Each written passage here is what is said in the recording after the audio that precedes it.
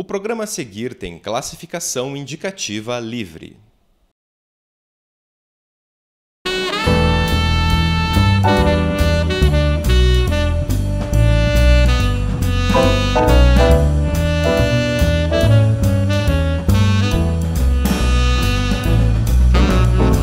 Olá, começa agora mais uma edição do Cine Federal.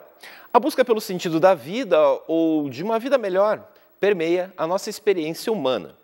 Esta jornada está presente no universo da arte escrita, falada, pintada e, é claro, filmada. No audiovisual, o procurar pode se revelar um processo e, quando estamos no campo do documentário, algo que muitas vezes não consegue ser facilmente domado porque é a expressão da vida e esta não é tão exata quanto pensamos ser. Partindo da busca por outras formas de se ver a vida, Sara Bonfim, diretora e produtora do filme Não Só Sereias ou Faunos, empreendeu uma busca por pessoas que tivessem essa mesma inquietação a respeito do sentido da vida. Você pode conferir um pouco do resultado no filme do trailer a seguir. Eu sempre morei na cidade. Estou acostumada a olhar na janela e não enxergar o horizonte. Aos 29 anos, quando engravidei, as mudanças foram intensas. A minha filha nasceu na banheira de casa. Aqui, por algumas horas, me senti parte do céu, das árvores, dos bichos, de tudo.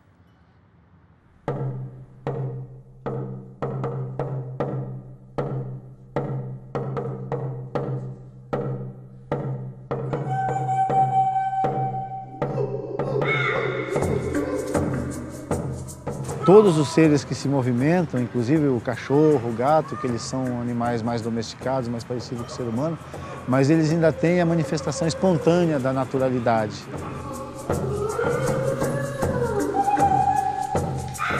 A gente não sabe mais agir naturalmente, né? Tá tudo errado. Então aí, lógico, como tá tudo errado, você vai... Então, já que eu não dou jeito no tudo, eu vou fazer alguma coisa certa, né? Fazer uma coisa legal aqui, pô.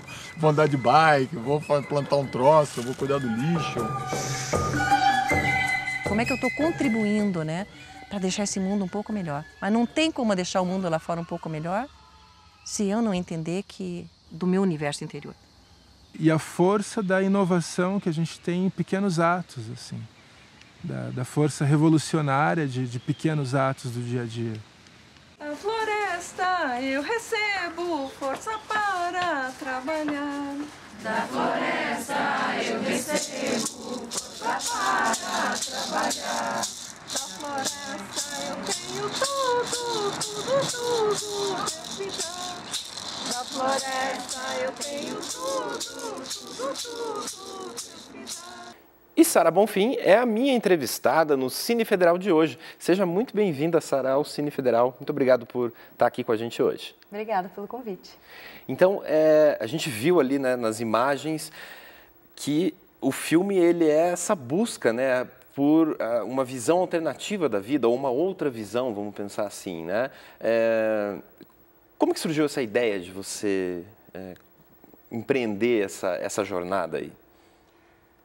É, antes da engravidar, eu estava sentindo uma necessidade bem grande de ter um contato maior com a natureza e como que eu percebia a natureza na cidade.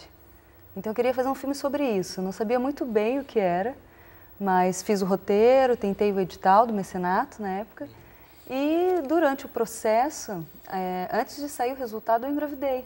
Uhum.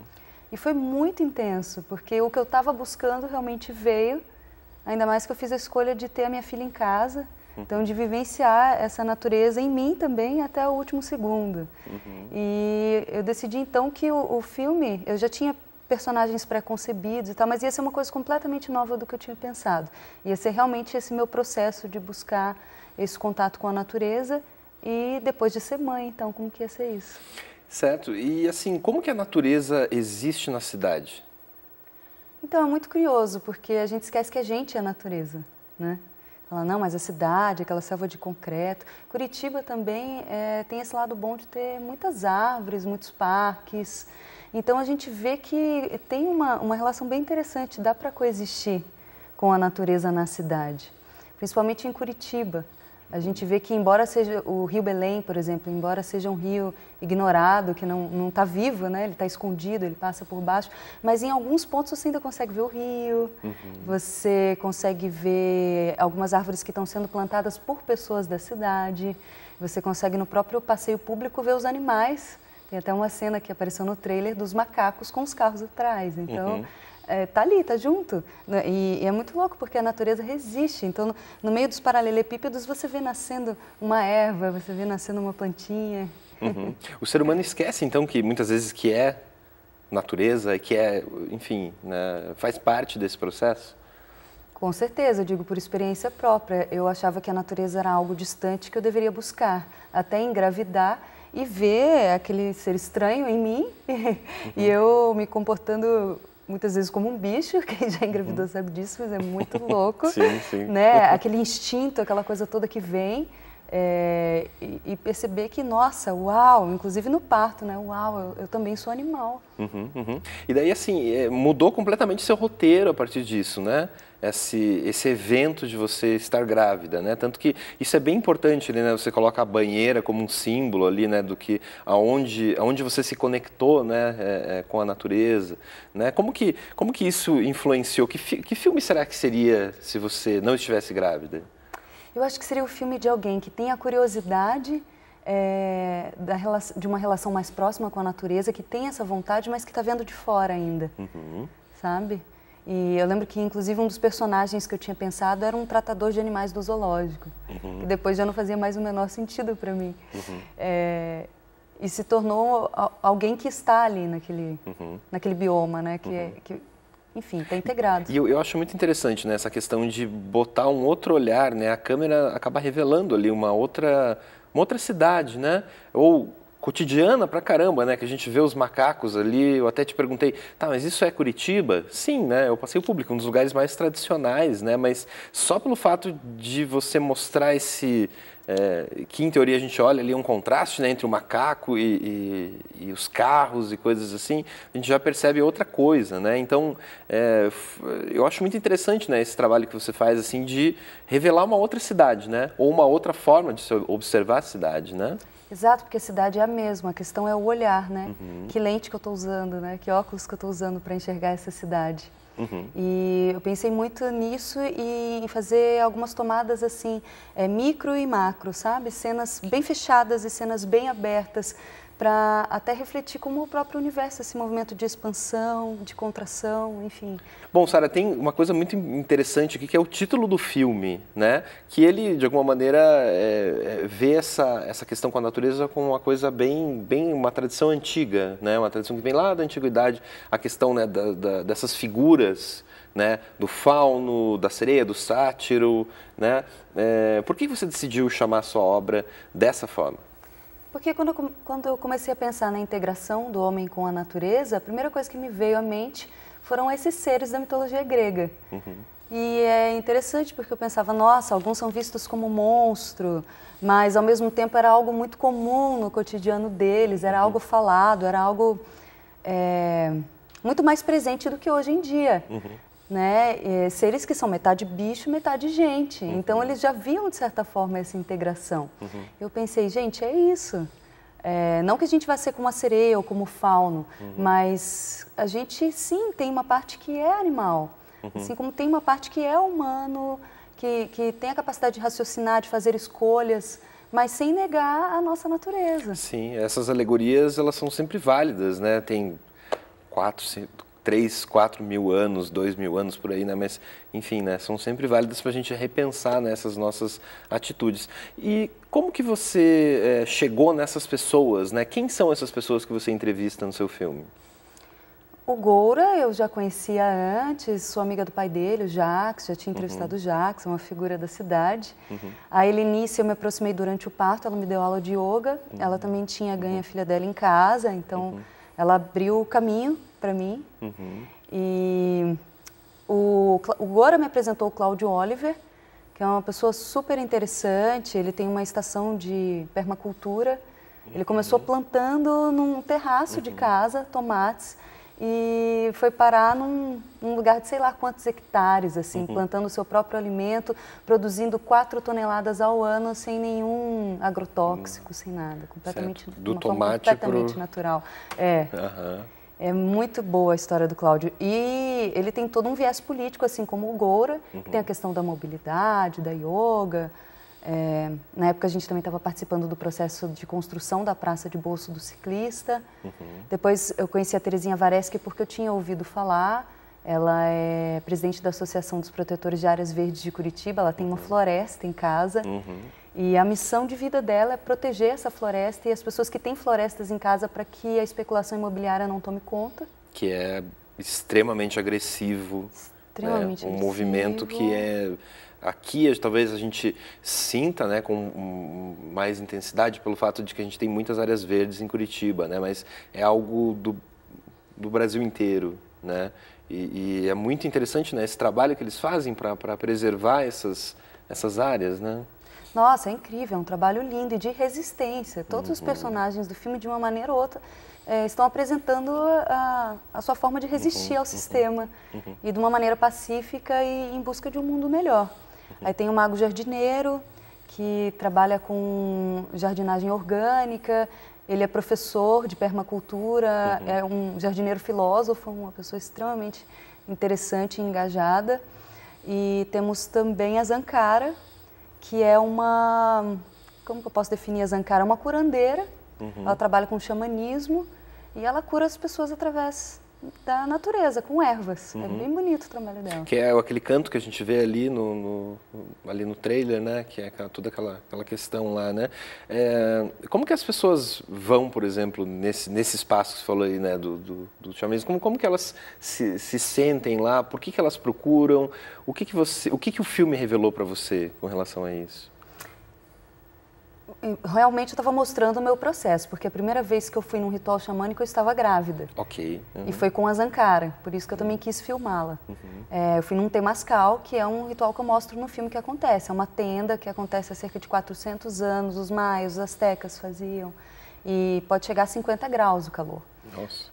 Primeira coisa que eu pensei, as pessoas tocando tambor, fazendo barulho de bicho e tal, eu falei, gente, o que, que eu estou fazendo aqui?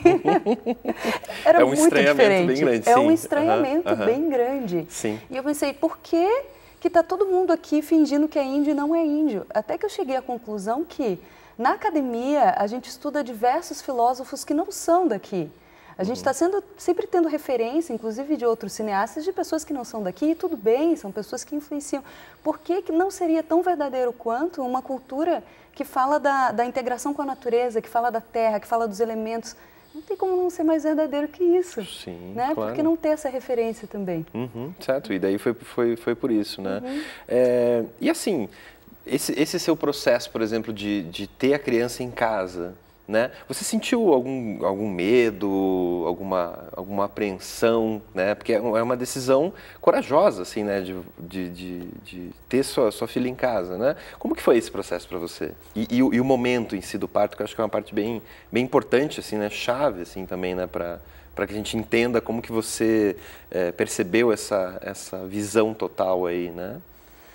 Eu não sou contra o hospital e nem a necessidade de se fazer cesárea. Então, se eu precisasse em qualquer momento fazer, ok. Mas, ao mesmo tempo, eu confiava na natureza e confiava no meu corpo. Eu sabia que o meu corpo tinha condições plenas de, de me auxiliar naquele momento e de agir perfeitamente. Ele tinha uma sabedoria própria. Uhum. Eu estava muito confiante nesse sentido, sabe? De que eu tinha condições, de que o meu corpo sabia o que fazer. Uhum. Embora minha mãe não tenha me tido de parto normal, nem nenhum dos meus irmãos. Uhum. uhum. Então, eu queria resgatar isso uhum. sabe? E, tinha, para mim, era um, um, ritual. Eu sabia que era uma espécie de ritual e, e, como eu digo no filme, todo ritual implica em dor. Uhum. Né? Você, ritual de passagem geralmente é assim, então é um ritual de passagem. Eu ia deixar de ser filha para me tornar mãe. E claro que teria dor nisso. Então eu já estava, eu não estava lutando contra a dor, eu sabia que ela ia acontecer. Uhum. Então isso ajudou bastante. Então você, você não negou isso, né? Não assim, neguei. É um processo natural, vai acontecer assim. É, e, e realmente senti muita dor. Mas é, é, serviu, né? De, de, sim, inspiração, foi um momento importante para você, né? Muito, muito. Foi, foi uma abertura de consciência muito grande, ah, assim. Ok. E daí também tem a questão da placenta, né? Que você também coloca no filme. Né? Sim, porque na época a gente estava construindo a praça de bolso do ciclista e quando a gente tem o filho em casa, é, a placenta sai com a criança. Uhum. No hospital a gente não vê para onde que vai aquela placenta, né? Uhum. E em casa eu tinha uma placenta e pensei, o que, que eu vou fazer com ela? Geralmente a gente planta. Uhum, uhum. É, porque né, é o órgão que alimentou meu filho okay. e, e, tem muitos nutrientes. E quando você planta, nossa, as plantas ficam lindas. Um adubo muito bacana assim para a terra. E essa coisa da volta também, né? Exato, é de é voltar. E ela tem o formato de uma árvore, é, toda essa história. E como a gente estava no processo da praça, eu sabia que iam colocar o IP lá na praça. Uhum. Falei, olha, é ali que eu vou colocar a placenta da Júlia, então. Certo. E é o que a gente fez. E tá lá, certo. Tá lá. E, e, assim, qual, é, momentos marcantes que você lembra, assim, durante a, a, a produção, né, que realmente tenham contribuído, assim, para você hum, fazer é, essa visão total que a gente vê no filme? É um filme que ele tem bastante foco nos personagens, embora eu vá permeando com um discurso próprio. Então teve um momento, por exemplo, que o carro capotou, o carro hum. da equipe. É mesmo? É, e foi bem assustador. Hum. Veio a ideia da morte, veio, e eu coloquei isso no filme. A gente parou as filmagens por alguns meses. Uhum. Então foi uma questão que eu Nossa. achei interessante colocar também. Sim, sim, sim. O, como que você vê o audiovisual enquanto processo? Né? Que isso é muito importante assim para a gente perceber no documentário, né? É, isso se torna ainda mais e mais é, possível, né, de ser feito. Né? Como que você vê essa essa questão? Então, para mim, hoje em dia, é, na verdade, eu sempre me interessei por filmes que tivessem, que trouxessem uma abertura de consciência mesmo, uhum. que trouxessem alguma coisa de diferente. E para mim estava muito claro que era isso que eu queria, e eu queria ser o mais verdadeira possível. Uhum. Por isso que depois que eu fiz ficção, estava muito complicado para mim fazer ficção de novo, uhum. se eu não falasse a respeito de algo que eu realmente conheço. Claro. Então, eu imaginei que, tá, qual é o, o, universo que eu mais sei? É o meu. Como é que eu posso falar disso sem ser uma coisa chata que esteja só falando de mim o tempo inteiro? É trazer questões que é, falem a respeito da condição humana uhum. e que eu seja só um canal para falar de algo maior. Então, para mim, o filme de processo é isso, sim, é você falar do seu processo e, e o audiovisual permite isso. E eu acho mais interessante ainda quando você traz para um contexto maior. Você uhum. aproveita todos os acontecimentos para para ter um, um, não só um início, um meio e um fim, mas para também você é, trazer coisas novas para as pessoas, né? Claro. E como que foi a recepção do seu filme? Foi bem interessante. Eu tive várias, várias, vários, vários tipos de retorno. Uhum. Mas vi muita gente se emocionando, assim, uhum. e basicamente dois tipos de pessoas. Ou quem estava interessado em seguir esse caminho e viu no filme, nossa, realmente posso chegar lá, eu consigo isso. Ou quem já estava nesse caminho e só viu mais uma confirmação e gostou. E Sara, o que você diria para as pessoas que, assim, acham isso totalmente descabido, que acham que, sei lá, esse, o, o, não conseguem enxergar, digamos, que a realidade é feita de múltiplos caminhos e não só aquele que a gente, é, enfim, né, que, que, que, é mais usual, mais tradicional, vamos dizer assim. O que esse filme apresenta são caminhos alternativos, não que sejam o, o melhor caminho, uhum. mas só para a gente perceber que existem outras opções. Uhum. As pessoas costumam dizer, ah, mas como é que eu vou fazer tal coisa? Como é que eu vou ter filho em casa? Que loucura, é impossível. Uhum. Mas porque parece mais cômodo o caminho uhum. que geralmente se toma. Uhum. Mas às vezes não é. Às vezes o caminho que a gente resolve lutar e seguir por conta própria, na verdade, acaba sendo mais fácil do que o caminho que as pessoas que é, fazem parte do sistema. Bom, todo mundo faz parte do sistema, mas que adotam o que a maioria adota, uhum. sabe? Costuma ser. Certo. E, e, e, assim, também você mostra que a gente não precisa ir longe, né? Da onde a gente está para viver experiências diversas e que talvez contribuam muito para o seu crescimento pessoal, né? Não preciso ir para o Tibete, por exemplo, para fazer uma, uma meditação, uma coisa assim, ou encontrar alguma outra coisa, né? O seu filme mostra que a gente pode, tá tudo próximo, né? Tá tudo perto da gente também, né? E as soluções são bem simples, na verdade. Uhum. É, é, plantar um temperinho em casa, é dar uma volta no parque, perceber o que está te cercando, qual é a natureza que está se apresentando, é plantar uma árvore na cidade também e assim fazer parte também do processo de urbanismo dessa cidade, porque não é, dar uma volta de bicicleta, sei lá. Na verdade é tudo muito simples. Uhum. E é esse fazer democrático do dia a dia, né? É a política do dia a dia, que também se contrapõe a esse, esse pensamento que a gente tem da, da política instituída, né, ou do político clássico, né? A gente, a gente pode fazer política no dia a dia, na conversa, né, e nas atitudes principalmente, né? Nossa, com certeza. É, a partir do momento que eu escolho o que, que eu vou comprar no mercado, por exemplo, se eu sei que tal rede de lojas é, já sofreu uma espécie de intervenção, enfim, já, já foi denunciada porque trabalha com, é, tem trabalho escravo, vou continuar comprando nessa loja, uhum. Né? Ou eu vou querer comer o meu alimento orgânico ou, com agrotóxico, ou meio como eu vou me locomover pela cidade, eu vou de bicicleta, eu vou de ônibus ou eu vou sempre de carro? Se eu vou para um lugar mais perto, eu preciso realmente ir de carro? Uhum. São coisas assim, é pensar num bem maior também, né? Uhum, uhum. Não só no que é mais confortável, digamos assim.